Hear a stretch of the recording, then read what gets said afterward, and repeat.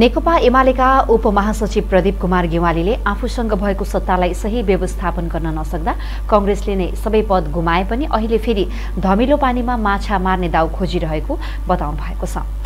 Press Chautari Nepal Palpa शाखाले शनिबार तानसेनमा आयोजना गरेको पत्रकार भेटघाट कार्यक्रममा बोल्दै उहाँले एमालेका उम्मेद्वार नै राष्ट्रपति बन्ने र एमालेबाटै बन्ने बताउनु भयो। सत्ता गठबन्धन दलबीच भएको सहमति अनुसार नै राष्ट्रपति एमाले पाउने उहाँको दावी छ।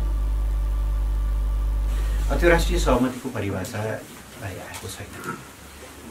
यदि नेपाली काङ्ग्रेसलाई समेत स्वीकार्य अथवा नेपाली काङ्ग्रेसले अगाडि बढाएको उम्मेदवारलाई चाहिँ का नाममा सहमति भन्ने हो भने त्यो बेकारको कुरा हो। दुईवटा डुङ्गामा खुल्ला हालेर हामी कहीँ त्यसो भएको हुनाले छलफलहरू हुन सक्छन्। नेकपा एमालेका उम्मेदवारलाई नै मत हालेर राष्ट्रिय सहमति कायम गरौँ भनेर प्रधानमन्त्रीले नेपाली काङ्ग्रेसलाई कन्भिन्स गराउन सक्नुभयो भने त धेरै राम्रो कुरा भयो यदि त्यो भएन भने स्वाभाविक छ सत्ता गठबन्धनको बिचमा नै जे समझदारी गर्नुपर्छ। त्यही कुरा कार्यान्वयन हुन्छ। यसमा धेरै आशंकाहरू गरिरहनु पर्ने धेरै अनुमानहरू गरिरहनु पर्ने मैले जरुरी देख्दैन।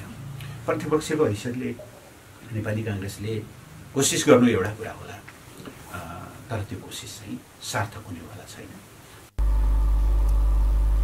धमिलो खोलामा माछा मार्ने मार्न खोजे जस्तै कङ्ग्रेसले राष्ट्रपति लिने दाउमा रहेको बताउँदै उहाँले कङ्ग्रेसले प्रधानमन्त्री प्रचण्डलाई विश्वासको मत दिनुको अर्थ राष्ट्रपति पाउने आशा होला तर प्रधानमन्त्रीले कङ्ग्रेसलाई कुनै वचन दिएर मत मागेको जस्तो आफूलाई नलागेको बताउनु भयो बाहिर चर्चामा आए जस्तो एमाले सशङ्कित नरहेको समेत उहाँले बताउनु भयो अहिलेको सत्ता गठबन्धन बीच भएको सहमति र सम्झौता कार्यान्वयनमा सबै दल इमान्दार रहेको उहाँले बताउनु भयो जसरी पनि सत्तामा पुग्नका लागि मरिहत्य गर्ने र राज्यको दोहन गर्ने बाहेक मुलुक बनाउने भिजन कङ्ग्रेसमा नभएको गेवालीको आरोप थियो।